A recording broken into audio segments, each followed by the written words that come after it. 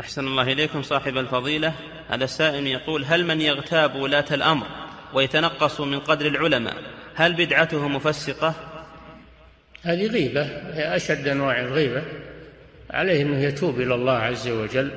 فإذا لم إذا إذا نصح ولم يمتثل واستمر يجب مقاطعته والابتعاد عنه. يجب مقاطعته والابتعاد عنه لئلا يتأثر من جالسه أو من صاحبه.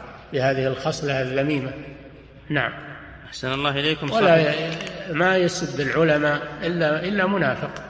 ما يسب أهل العلم إلا منافق.